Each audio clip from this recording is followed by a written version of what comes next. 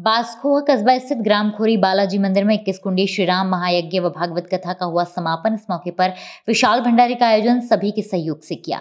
दोपहर वो दो बजे से देर रात तक चला ये जानकारी श्री श्री 108 सूरज दास महाराज व श्री श्री 1008 बाल योगी श्री केशव दास महाराज ने दी।